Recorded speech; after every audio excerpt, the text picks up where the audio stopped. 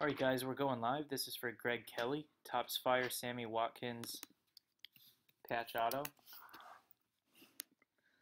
It is 8.15. Gonna go nine times. There's your list.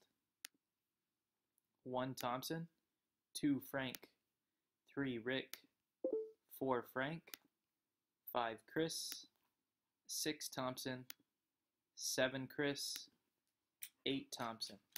It is 8.15. Dice roll here was a 9. Ninth and final for the Watkins. Good luck. Chris Massey, spot 9. You're the winner. Congratulations. 8.15. 9 times. And Chris Massey takes it. 9 hole.